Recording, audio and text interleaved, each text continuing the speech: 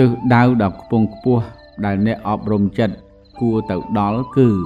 ការដែលមានជីវិតស្ថិតនៅមិនកើតទុកផ្លូវចិត្តព្រោះបានកំណត់ដឹងនិងបានយល់ការពិតក្នុងលោកមុននឹងលាចាកលោកក៏បានជួយឲ្យអ្នកដតីមានសេចក្តីសុខផងដែរយើងដាំបន្លែបានមែនតែរូបរាងក្តីរសជាតិក្តីនៃបន្លែនោះគឺយើងមិនបានធ្វើឡើយវាប្រព្រឹត្តទៅតាមពេជ្ជនិយាម ធម្មជាតិនៃពូជនោះនោះយ៉ាងណាអ្វីអ្វីក្នុងជីវិតយើងគឺខណ្ឌធាតអាយតនៈក៏យ៉ាងនោះដែរសត្វតែជាធម្មជាតិដែលអាស្រ័យបច្ច័យកើតឡើង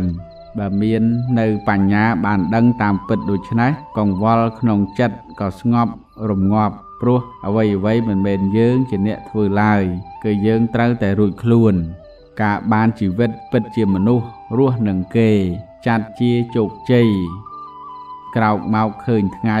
ថ្ងៃរះថ្ងៃលិចរស់មានតម្លៃថ្លៃលើសមាសពេជ្ររឹងប៉ឹងជានិច្ចមិនលិចដូចថ្ម ព្រះសុរិយាយត្រាលិច មិនភ្លេចរះចាំងជះលោកនាយជីវិតពុនរាយពន្លឺព្រះធម៌កំចាត់ងងឹតដួងចិត្តភ្លឺល្អលាលោកញាប់ញួរលុះលោកតរា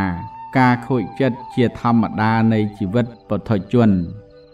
បើពោលតាមរឿងថាមកអំពីអ្នកដតីទៅចុះប៉ុន្តែ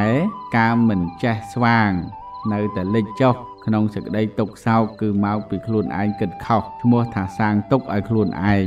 ពេលវេលារស់នៅតិចណាស់ត្រូវកុំយំយូរពេកពេលយំត្រូវយល់អំពីសច្ចៈនៃជីវិតផងថា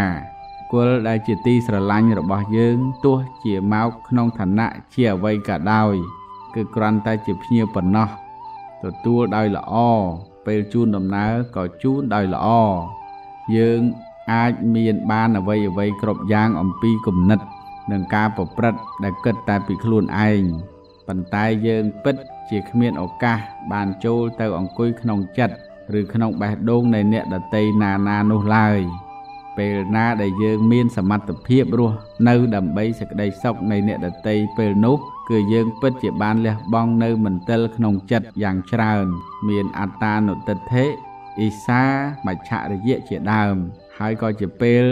ដែលយើងមាននៅសេចក្តីសុខក្នុងចិត្តច្រើនឡើងច្រើនឡើងផងដែរគុណតម្លៃនៃជីវិតមិនមែននៅត្រង់ថាយើងមានមាសប្រាក់ច្រើនប៉ុណ្ណាឬឋានៈធំអំណាចខ្លាំងប៉ុណ្ណាទៅនោះឡើយ នៅត្រង់ថាមនុស្សសត្វ ជំវិញខ្លួនយើង បានសេចក្តីសុខព្រោះយើងប៉ុណ្ណានេះទៅជាគុណតម្លៃនៃជីវិត ដែលបានសម្រេច